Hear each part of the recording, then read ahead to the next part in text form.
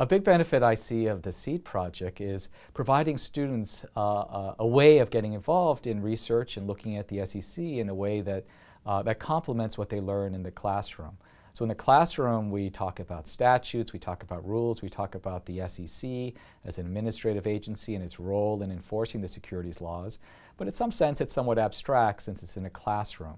Uh, the students who work on the SEED project, and we have uh, many students who are working on the project, dive into uh, uh the SEC enforcement actions. They see these actions from start to finish, and they, they really get a sense of the overall array of uh, enforcement that the SEC does. So I think it's an important complement to what they do in the classroom.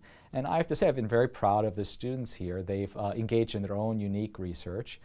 we've had students who've looked at uh, the sort of role of whistleblowers in SEC enforcement actions. We've had students look at uh, the types of uh, actions the SEC has brought and how they've changed over time. Uh, students have used their SEED research to present at conferences. Uh, and student, at least one student has published her uh, SEED research in a journal.